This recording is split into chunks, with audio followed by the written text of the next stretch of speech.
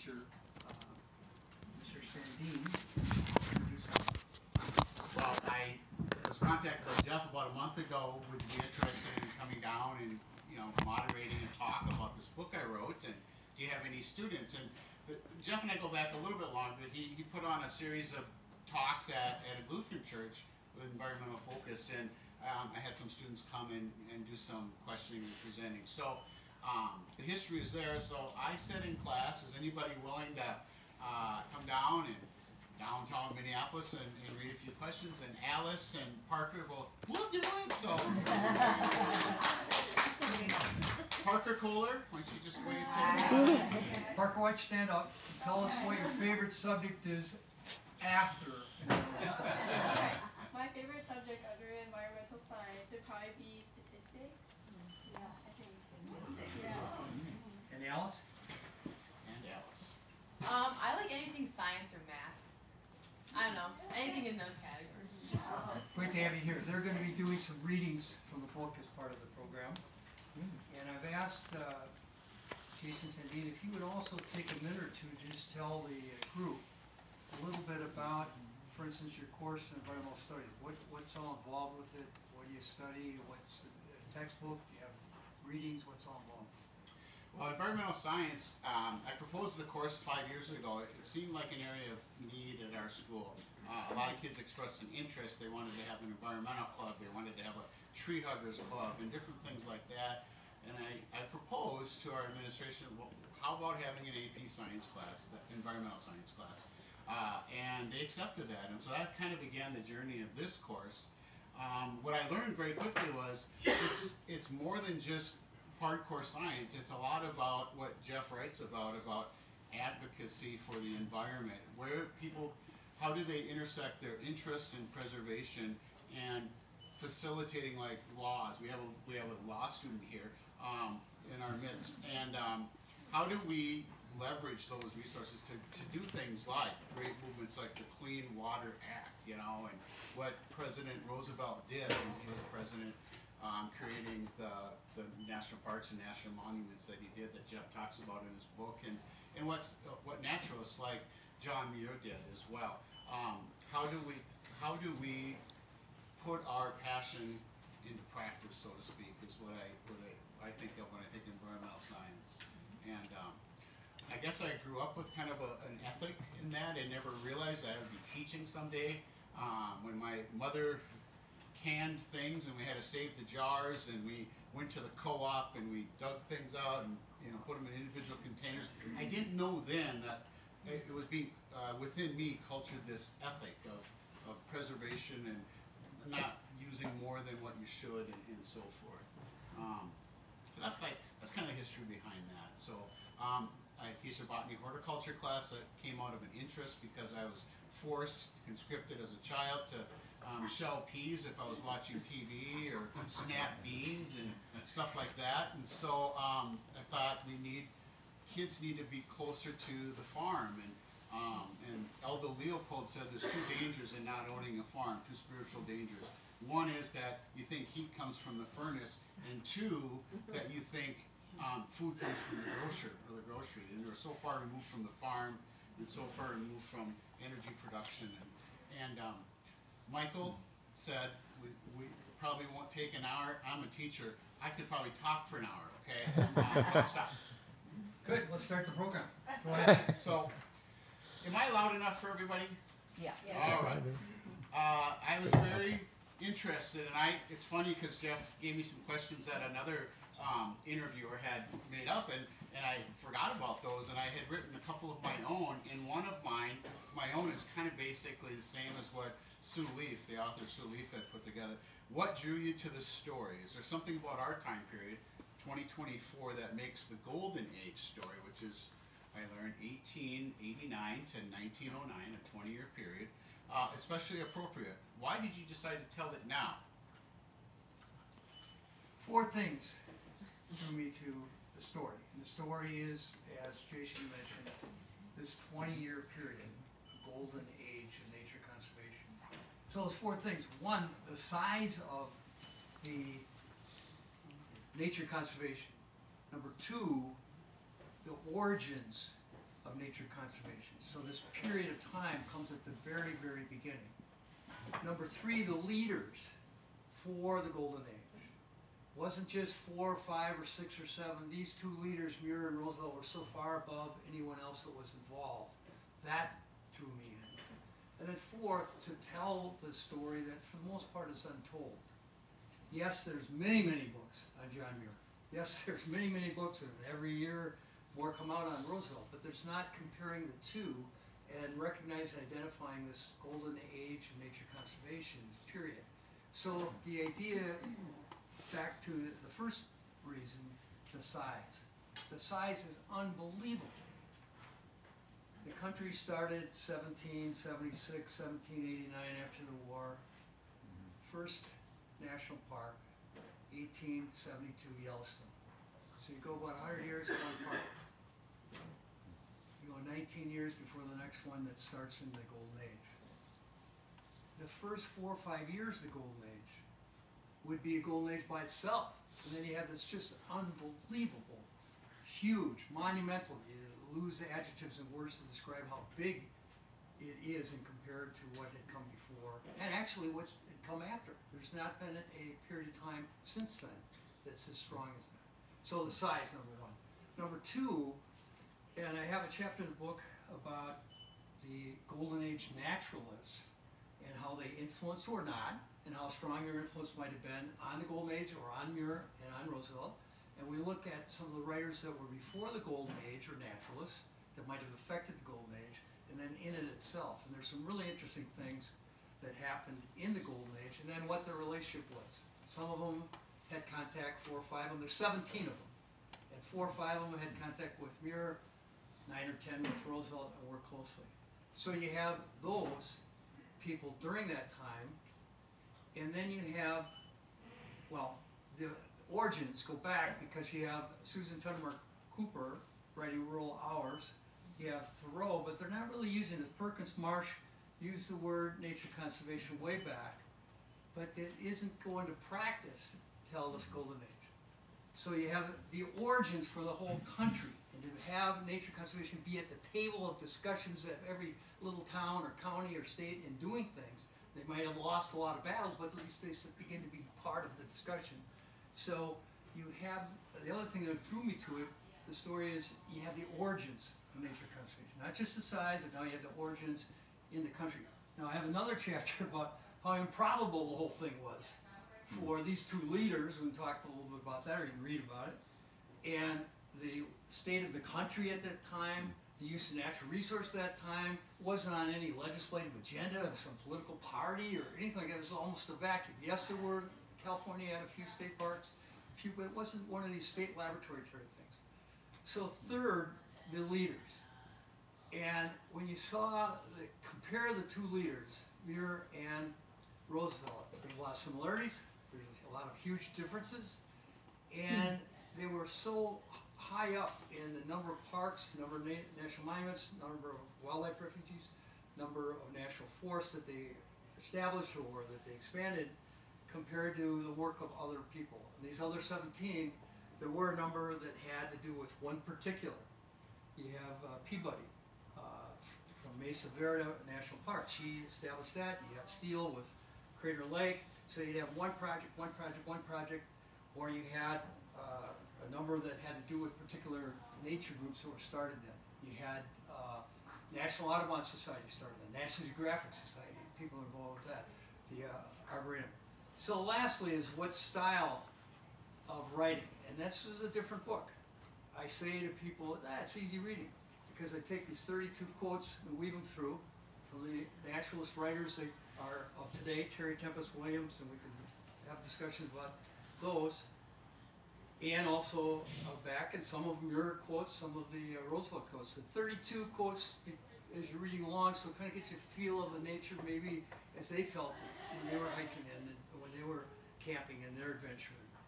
So you have that, and then you have fourteen photos that come from the parks or national monuments from those uh, golden age years. So it's a little different. So I tell people the analogy to canoeing is, uh, it's easy paddling with a few small rapids.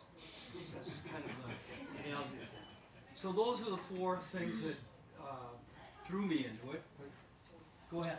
Yeah, I think we're gonna have a couple readings real quick Yep. from the book at this point, from Parker and I think Jeff himself will Yep. share something as well.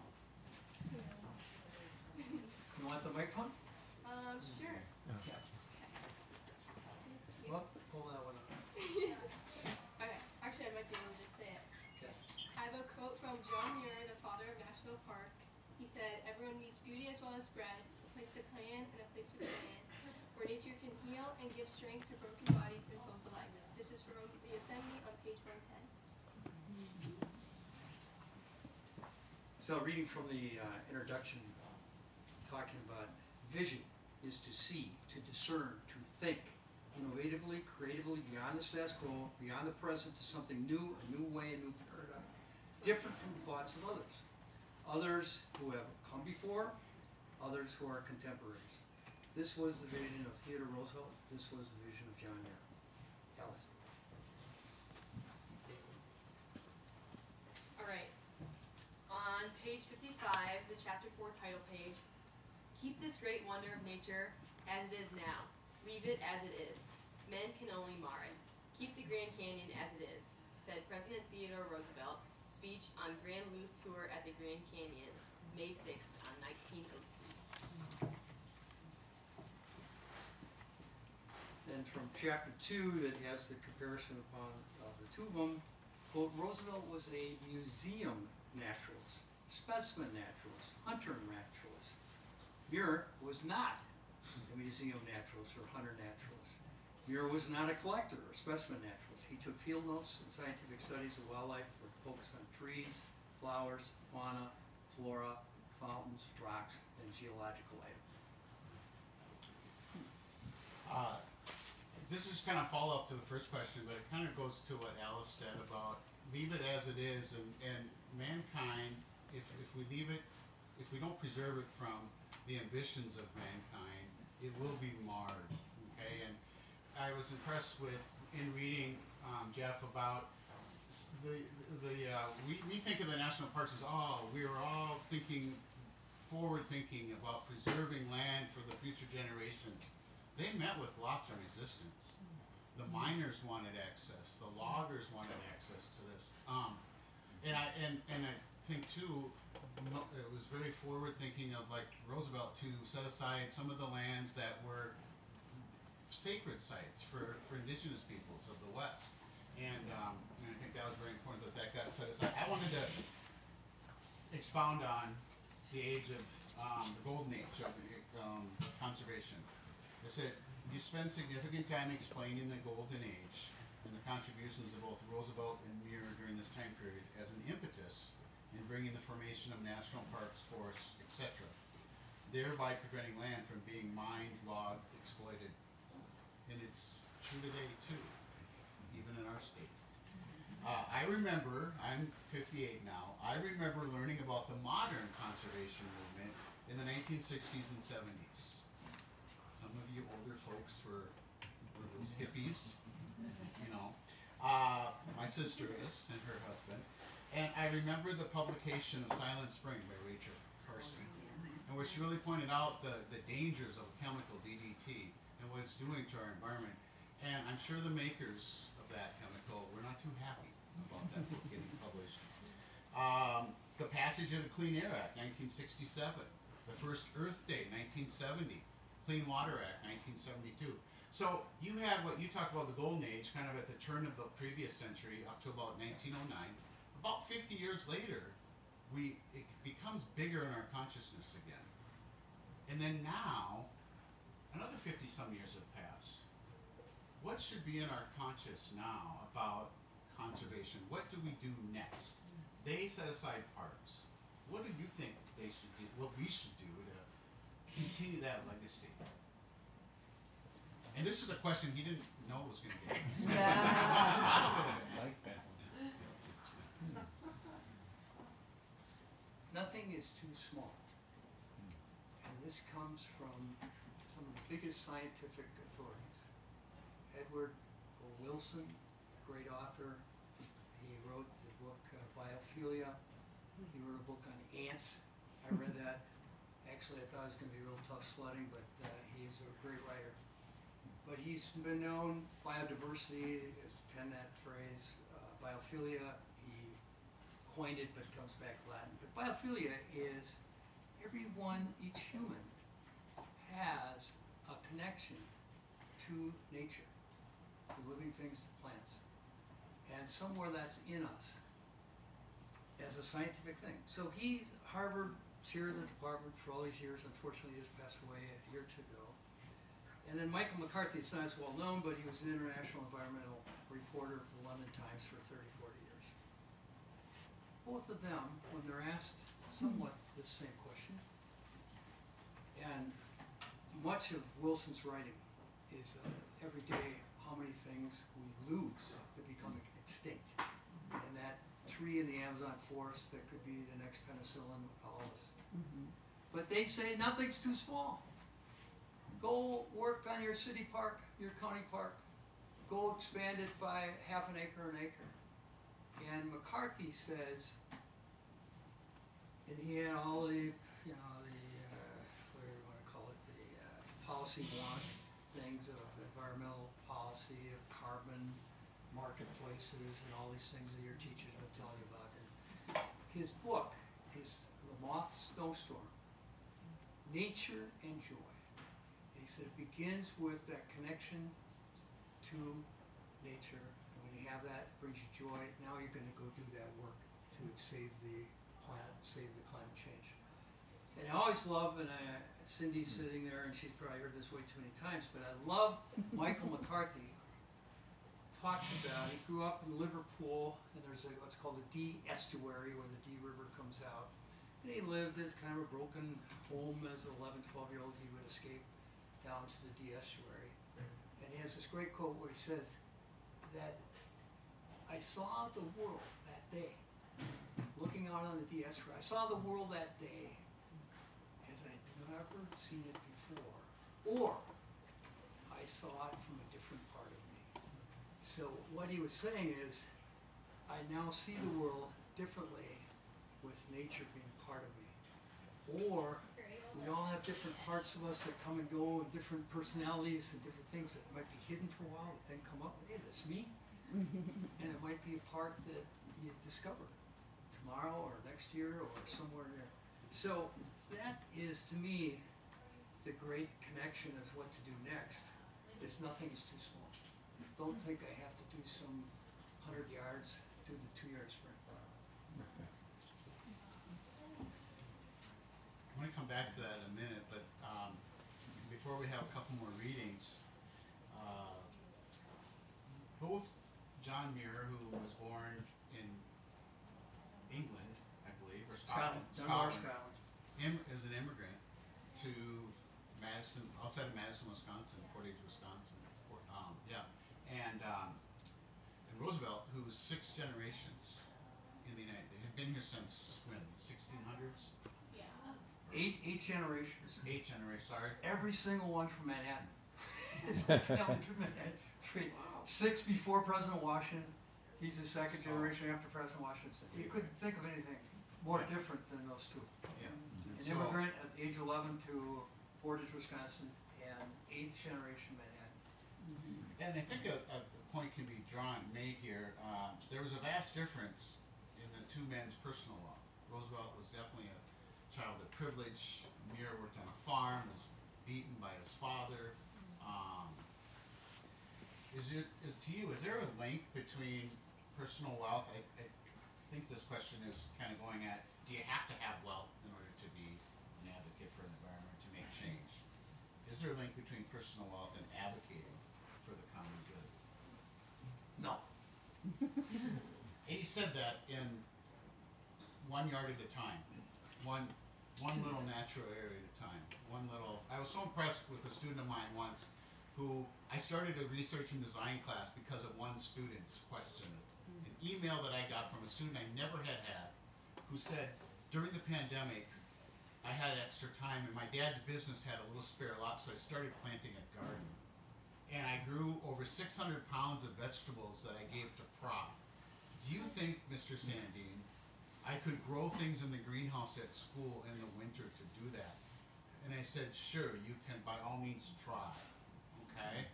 And I thought to myself, we need to give students that have a passion for something like that, the opportunity to pursue that. And so that's when I proposed, how about having a research and design class where they can use the facilities, um, and come up with their own independent projects.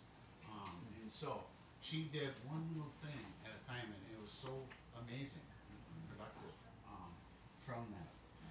Let's have a couple more readings, ladies. I have another quote from Terry Tempest Williams. As we explore parks, monuments, sites, perhaps it is not much what we learn that matters in these moments of awe and wonder, but what we feel in the relationship to a world beyond ourselves, even beyond our species. And this was said in The Hour of Land, a personal topography of America's national parks.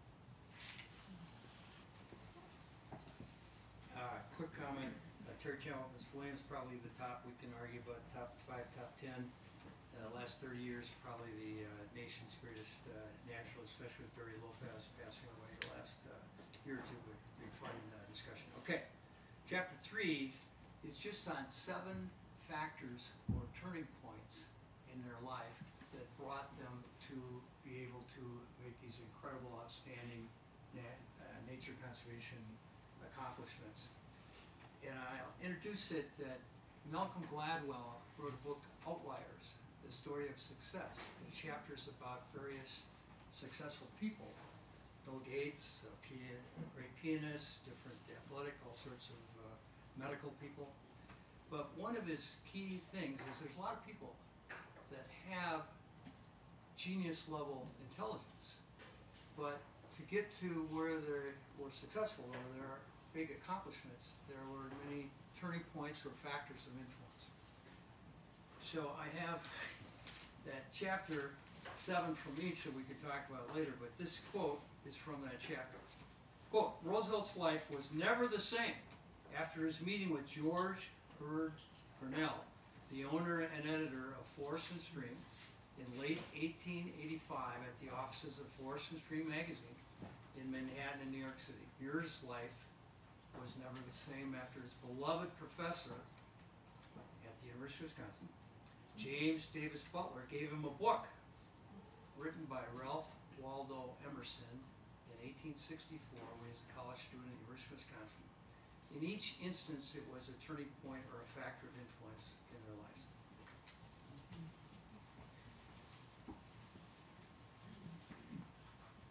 Alright. Aldo Leopold, San Con- County Almanac, quote known as the land ethic or the environment ethic philosophy.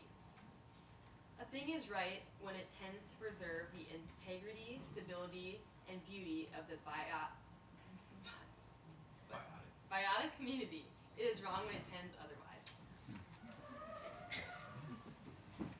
Same chapter three. The life journeys of this sickly child living with his family in an East Twentieth Street, Manhattan, five-story brownstone, two live-in servants, and luxury all around. And of this child working long, hard physical labor on the Wisconsin farm, receiving almost daily beatings at the hands of his father. Both had changes of course in their journeys up to the golden age and changes of course in their journeys in the golden age. Changes of course with turning points on the path of their or their journey that changed their lives from the course they were proceeding on turns that brought them together with other factors and turning points to a different place, a place that transformed America. Well, it would have been nice if we had maybe gone through this one time before this, because that's exactly where I was going. Your quotes and what you had the young ladies You could read. say it twice. We can, and, For and, and for also we have to think on the fly as teachers, right, Ralph? Yeah. The internet's down, Schoology doesn't work. Oh man, we gotta rely on something else now. Like our head. Yeah, so Going outside.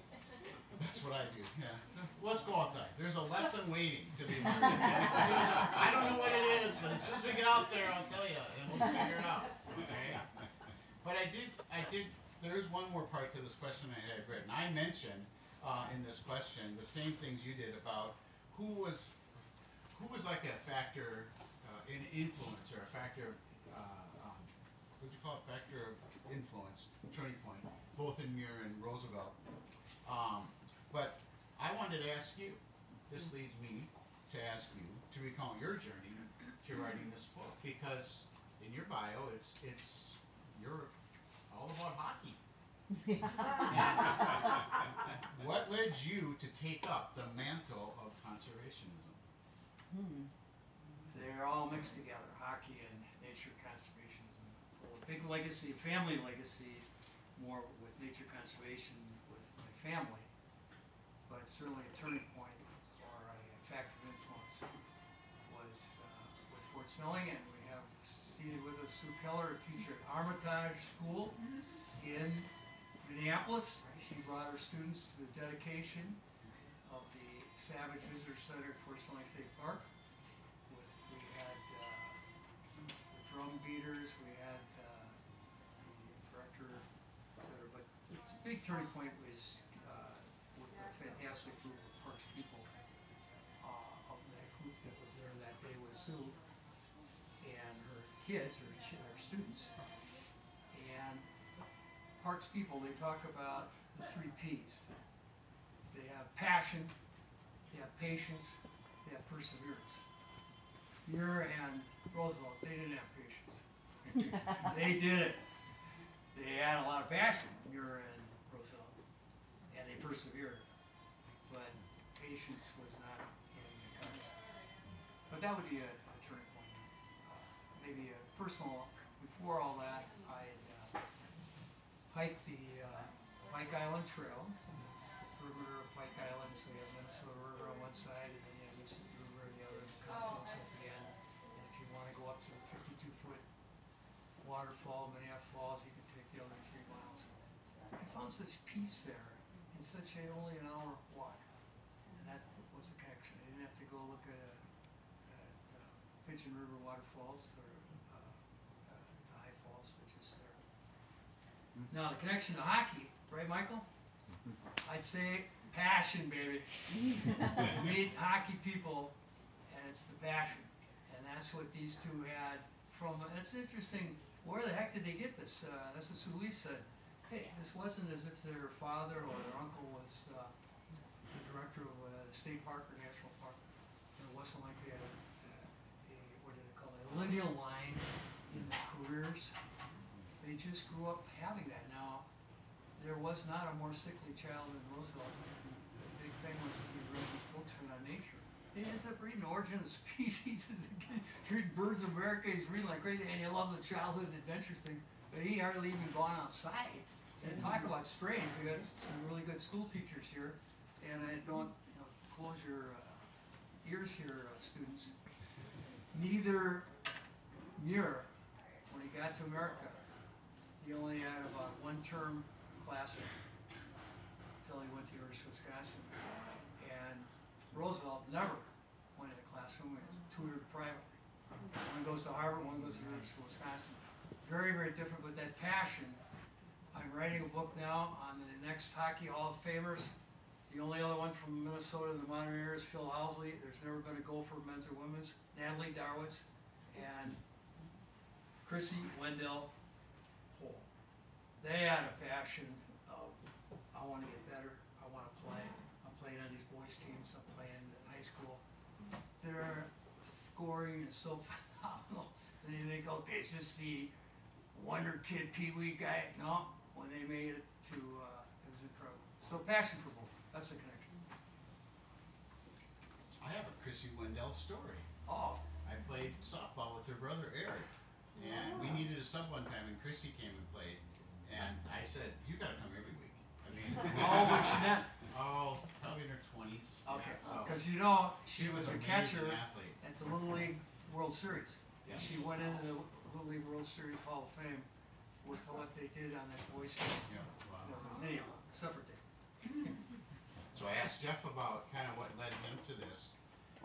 Why don't we have audience participation? Why are you here tonight? What, why are you on this path of conservationism? What, you know, have you always been attracted to nature? Has, has it always been a desire of yours? Turn to your neighbor and talk for a minute.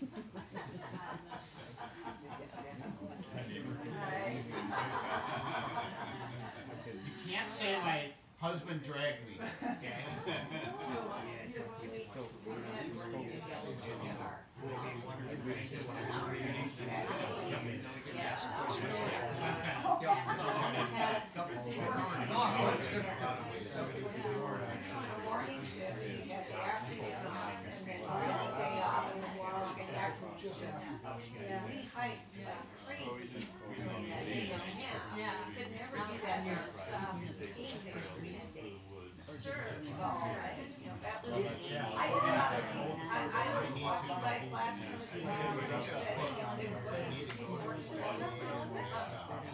I've never been there, that sounds kind of interesting. I'd say that would be my interest. So you read the, uh, Oh, I was- So the next one is other, even simpler, for yours, simple.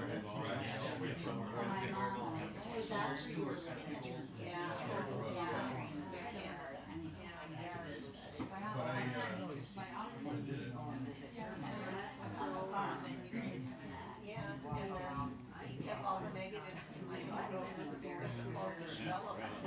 alright, hey, this is what's great about working with adults, and you're adults. Because my freshmen would just look at each other like, I'm not talking, I'm not talking. And you all, I have to stop you, so, uh, what's something that stood out, something that somebody said? Steve's son dressed up My son did like a wax museum act of John Muir like two years ago. So- Oh, our next door Did a science project on his photography though. And then his older brother did. Levi, uh, Levi. Levi did like the preservation of Kings Canyon with uh, Ansel Adams in his role, and And he made it to the, uh, finals in the state. he was he was a top ten in the country for his history day. For science project. Wow. Eighth grade, yeah. Wow. You so yeah, I'm Jeff's neighbor, and I, my sons are tied into this. And Nice. So we're neighbors too, then, my wife Rebecca and I live just down the street on Lane, so. Ladies, what did you share? What, Oh, I said my dad kind of it, like when I was growing up, and like when well me and my we were little, when we would drive, would like he'd pick us off off the road and stuff, and he really likes to like take us um on vacation. So we went to Muir Woods this summer, and that was really fun. We went for a little hike, and yeah, it was a little we were a little um out of breath after that. It was it was. There's like a like area to like see the trees, and then we went the wrong way, and we went up the hill. It was like, oh, yeah, it was fun. a lot of great memories are Yeah. made being lost together, Yeah. right? Rebecca, you were, I don't know your name, I'm but, Connie. hi Connie. My husband Frank was on the, the state park board with, with Okay. Jeff. And, uh, Frank and I met in Yellowstone Oh, wow. in the eighties. And, uh, we would have to work six days, and we would have the morning shift, we'd work a morning shift and an afternoon shift for that, like, day and a half. You hike like crazy, and then I, you know, I went there because I just walked by a classroom at the U and they were hiring, and I thought, oh, that sounds interesting, I've never been there. And I'd never really been to a national park, I don't, we've been to Mount Rushmore, Right, but growing up, but that was about it. And I'd say that was a real turning point. point, and again, it was hiking, like you say, Jeff, that feeling of just that hour of walking, um, puts you in touch with nature. So I always tell my students, read the bulletin boards if you go to college. It's a way to find great little jobs, mm-hmm. i- interesting experiences that'll change your life, Yeah. okay? Mm-hmm. So, So here's uh, a little bit of description of the golden age. So the before on the left, before those twenty years and after. So zero nine national lions, sixty. Zero national wildlife refuges, hmm. fifty-one. Two national parks. Actually, Mackinac was considered, and it got transferred to a state park in eighteen ninety-five. So there technically was Yellowstone and Mackinac, but then Mackinac left. And twenty-five, two hundred seventy-five. So this is just incredibly huge. I always say we went from kind of zero. Well, here, on the right, of course, redwoods, that's the, uh, Yosemite and Sequoia with Muir. And on the left is Roosevelt with the huge bird and animal, the two, uh, interests of the two.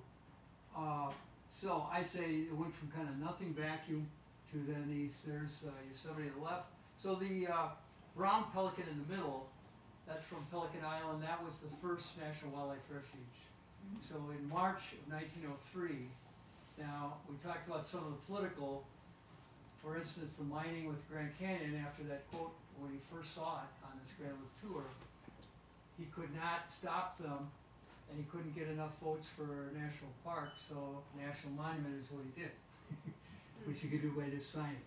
So we'd have the birds like the upper right there, that's up in North Dakota near Jamestown, there's a Hearn Island up, so you'd have where they migrate, not just, and Mount Rainier was a little later on. There's Mesa Verde, the, uh, Lynn, uh, Peabody, and there's the Grand Canyon. Here's all these, uh, the seventeen, but there was another interesting, that is one of the chapters in the book. He had a train trip for sixty-six days. And he had John Burroughs, who at that time before Muir really established himself as the mountain man in his writing in magazines and then his writing for books, was the naturalist in the United States, but mainly the East, and an image. Uh, so, he left Washington DC, went to, uh, at, uh, Northwestern University of Chicago, and then went to Milwaukee.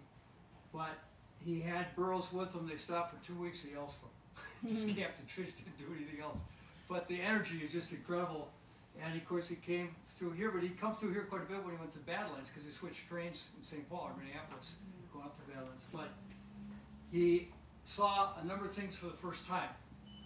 He saw Grand Canyon and Yosemite and the Pacific Ocean. He'd never seen it. And he met Muir for the first time. Of course, they went camping together for those uh, three days in Yosemite.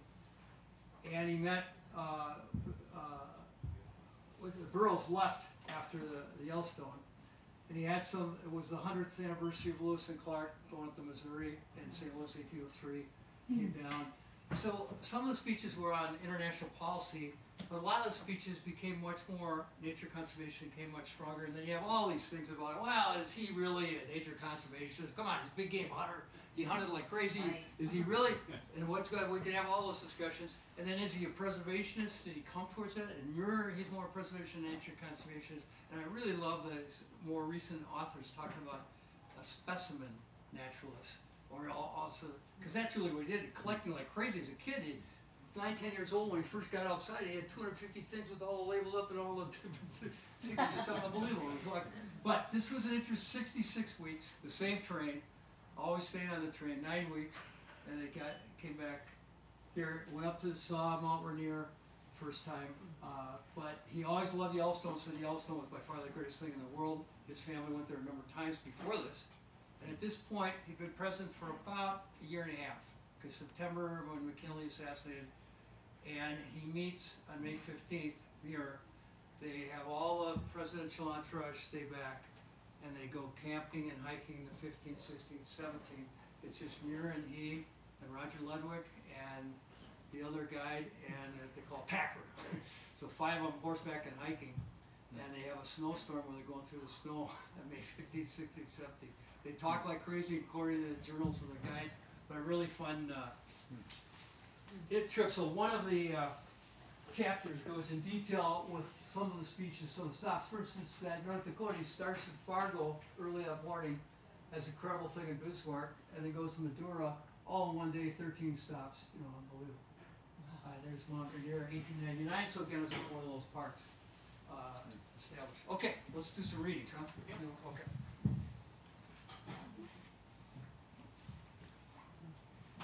Known as the Muir Environment um, Ethic or Philosophy, John Muir said, when we try to pick out anything by itself, we to everything else in the universe. This is from my first summer in the Sierra. A big bold change at the start of the twenty years of the Golden Age for both Roosevelt and Muir was their organization advocacy, and this started their large, multiple accomplishments. Roosevelt and Muir each began as founders, and longtime leaders of advocacy organizations for nature conservation began within a couple years of eighteen eighty-nine and the beginning of twenty golden years. The organizations were Boone and Crockett Club for Roosevelt, which he founded mm-hmm. with Grinnell, and the Sierra Club for Muir, which he founded with Robert Underwood Johnson.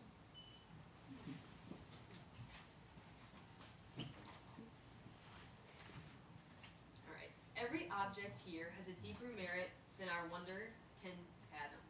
Each is a beauty beyond our full perception. The discolored, the discolored leaves withering away upon the lowly herbs in a blessing of fertility. This is said by Susan Fenimore Cooper, Rural Hours. In chapter five, improbable or very unlikely was the huge nature conservation progress during the twenty-year period of eighteen eighty-nine to nineteen oh nine. Nature conservation was an improbable idea, an improbable place of America, in an improbable time, eighteen eighty-nine to nineteen oh nine, with improbable leaders of Theodore Roosevelt, John Muir, and all with an improbable size of such progress in nature conservation. I just wanted to add to that, um, I was particularly struck about the local connection, uh, that Minnesota had this, in the country, the second state park. The first was Niagara Falls. Uh, you probably can guess Minnesota's state park. Itasca? Itasca in eighteen ninety-one, um, only the second one, and at that time in Minnesota, lumber in that part of the state was huge, and so it was a challenge to get that passed. Mm-hmm. And it was, if you really wanna read about a heroine, and, and, and you're reading Jeff's book here, points this person out, and I wanna do some research on her. Mary Gibbs, her father, he was the park ranger, and he died, she was twenty-three years of age, and she became the park ranger, and she stood up to the loggers that threatened her with violence and guns and everything else to keep that park established and not to be logged and protect the, the wilderness. So, It's even more dramatic. I'm not gonna replay the scene right here, but the, the uh, timber people have their gun pointed at her. She's gonna open the sluice to keep, or to keep it closed. Yeah. And they said, no, I'm gonna open it. And she said, no, I'm not, because they wanted to float the timber and keep cutting it down, Itasca float it down. So she stood up to, she was gonna be shot, basically. Yeah. Uh, and a great story, and that'd be a good one for, uh, Hazel and Levi. well, in looking over our questions, we, we, I think we've kinda covered it. Okay. There's a lot more we Like could so- talk about, but in sake of time, Yep. we wanted to leave a little time for questions, if you had some for Jeff. Um, and then Jeff's gonna do some signing. Yep, right? So, sounds good. So, who's got a question? Frank? Um, nothing comes to mind right now. I have questions. Yep. How many national parks have you been? Uh-huh. And like, what are your favorite? Well, state parks was more, I got to almost all sixty-seven, I didn't get to, uh, I got to sixty-five when I was president of Parks and Trails Council. And the, but we've been to Glacier, Mount Rainier, Olympic, uh, Grand Canyon, and all the desert ones. Uh, they really, uh, connect in so many ways and so much of the words uh, of them, but the size is just incredible. But what's your favorite? Yeah, yeah. Or two? Thank you. That's always a challenge, my, my body students, what's your Well, we favorite have- flower? Two former Yellowstone workers, you know. so- Yeah. Is he say the right? Yellowstone, Or memorable. yeah. Yeah. How about you? How many people have been to Yellowstone? Frank, okay. Glacier. Uh, Grand Tetons. oh yeah, Grand Tetons, very, very interesting. How about Zion, Zion, yeah. Arches? Yeah. National Monuments, Devil's Tower, Yeah. uh, One of our, one of our family vacations. Yep. We took, uh, the kids, uh, and we went to Colorado and we visited every national park in Colorado and we snuck in a couple across the border to Utah. Michael. Were there any places uh, that they tried very hard during this golden period to make into national parks that failed? And if so, where are those? The only, uh, is you get the political thing, uh, when we had, you know, fifty-one wildlife refuges, there were zero before, that was all Roosevelt, love birds.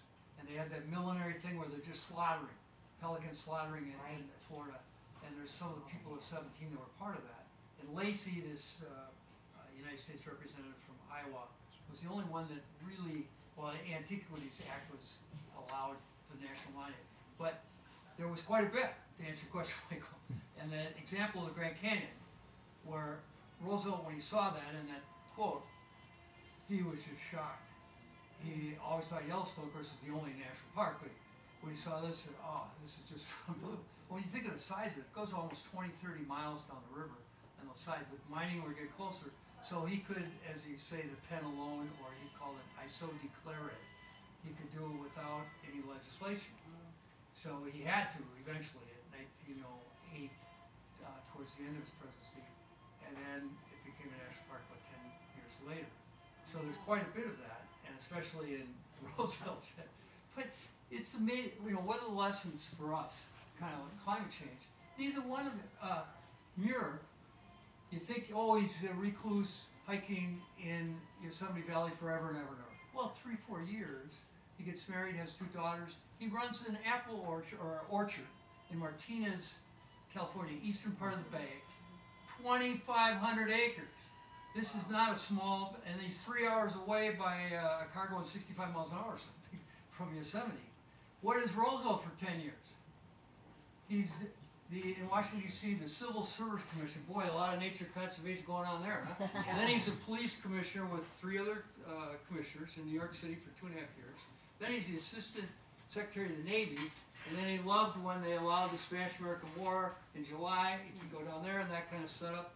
That he comes back, he becomes the governor of New York, then he becomes the vice president. It goes from there.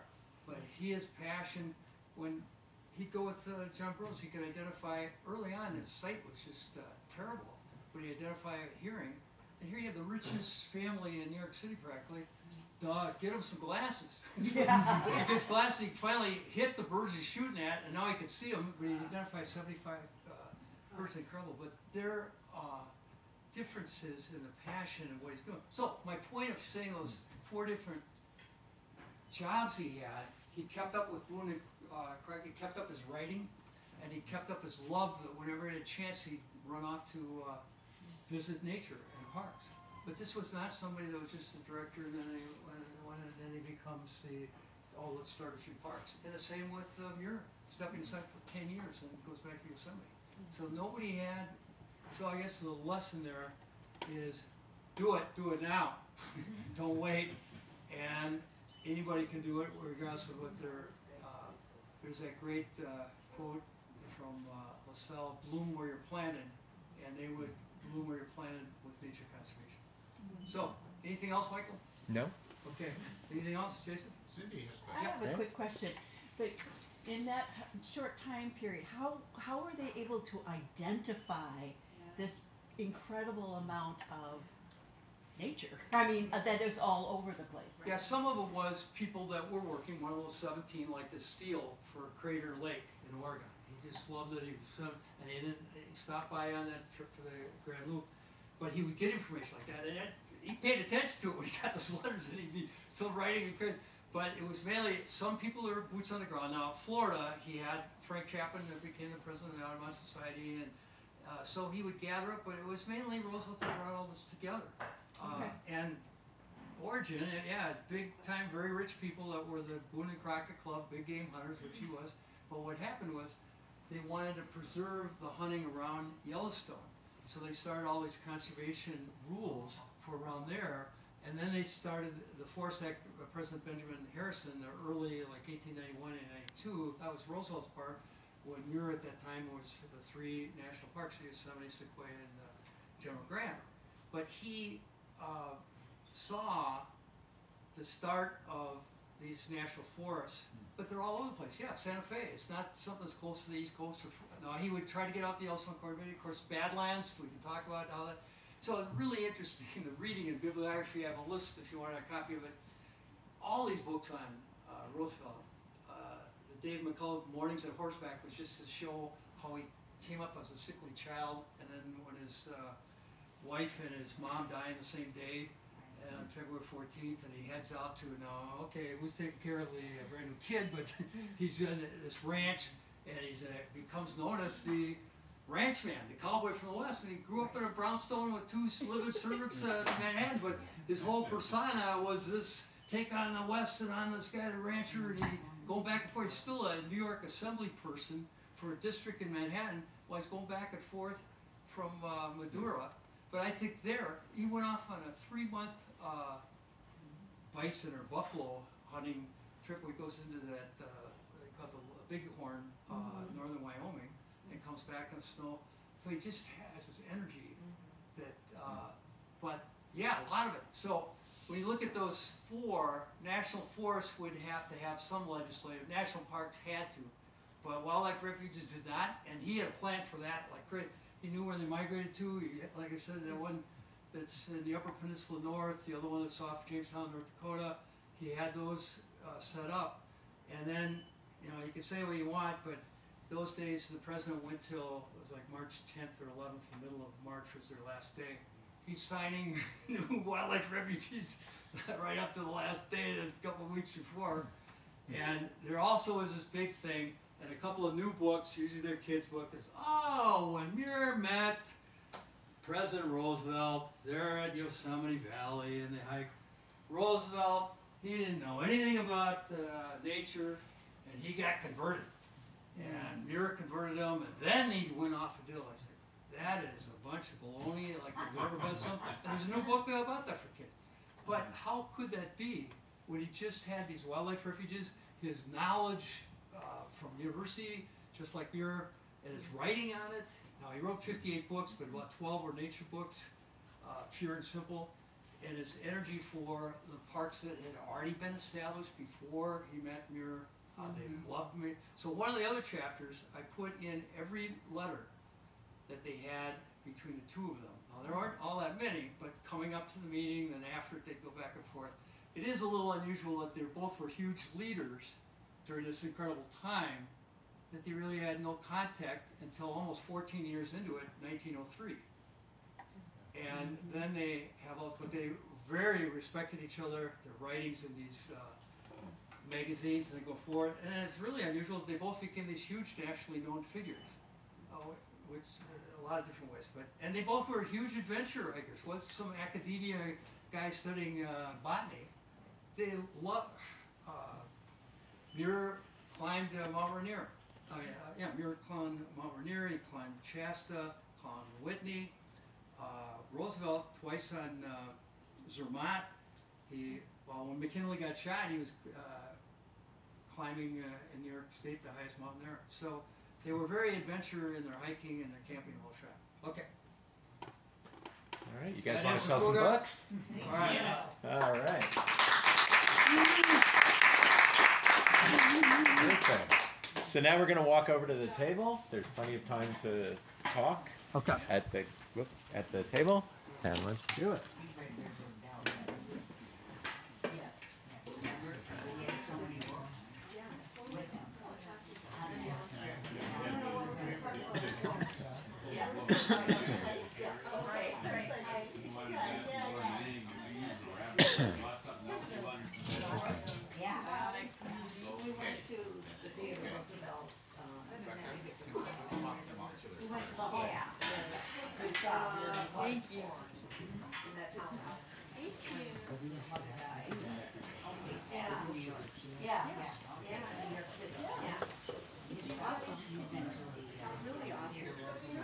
No. You are doing it, no. Wow. We did it, we did that on the way back from, Well, on the way there and the way back, cause you got a south side and a north side, I you know, can't, I know. the I know, we need to get there. right. So sweet. It has been a hundred years since I know. No kidding. Good to see you. Uh, no, we're at Emmanuel Lutheran, cause that's at Near four and five. County Road four and five. That was our first church. And our boys wanted to be in confirmation with the Minnetonka. Minnetonka. Cause we were in Minnetonka- Eden Prairie, but Minnetonka Minnetonka schools. schools. Got it. So then we went to All Saints and then our friends at Emmanuel said, why don't you come back? So we did. Are you still there? Yeah, yeah, yeah, yeah. You are? Yeah. Okay, good. Yeah. And, Jeff's, we both retire. Jeff's joined the choir again, and Oh, it's all good. Yeah, Nice. yeah, ah, that's good.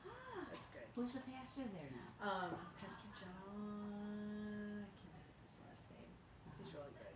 Uh-huh, He's okay. good. Young And you had a Hispanic pastor there. Yeah, right? we loved, we loved him. So did. Accordion. Oh, yeah? Well, Yeah. yes. Fun, huh?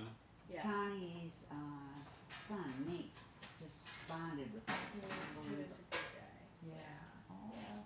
Thanks for coming. Oh, you're welcome. Yeah. Yeah, this is, so you're both retired and just Life is good. volunteering? Well, it doesn't yeah, sound Jeff like, like sits at his computer all day. I was gonna say, it doesn't sound like he's retired. No, but you know what? It's, It's a the- passion for him. Yeah, it- Yeah, exactly. avocation. Exactly. Yeah. Yeah.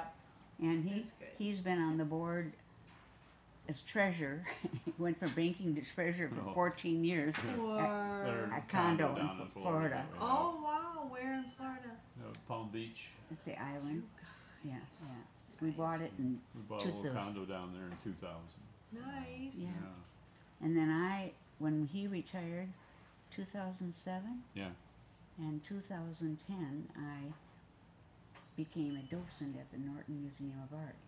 So I did that for Sign thirteen, me up. I thirteen mean, years. that's That was on my bucket list. wow. Yeah. And I mean, that's not an easy job. No.